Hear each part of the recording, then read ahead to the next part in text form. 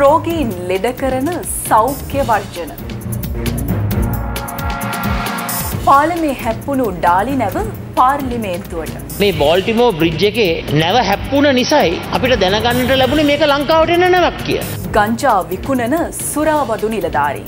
හොරකම රැකියාව කරගත් එකම වෘතිය දේශපාලනය ගැන අද ටෙලිවැකියේ. බිලියන නමසය හැත්තෑ අටකින් අහිමි වුණු බදු ආදායම.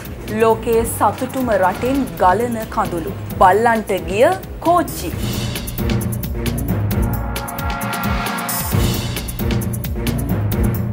මේ සියලු දේ ගැන දැනගන්න එකතු වන්න සැමට කලින් සත්‍යය හරියටම ඔබට කියන සියත සවස හය ප්‍රධාන ප්‍රවෘත්ති විකාශය සමගින්.